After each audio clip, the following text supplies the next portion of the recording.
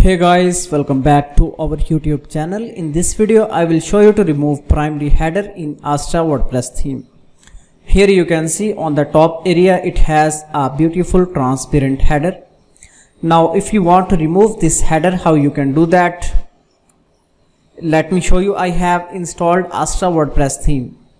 If you are using different WordPress theme, then options will be different for you because every theme has different features and requirements. Here you can see this is Astra theme.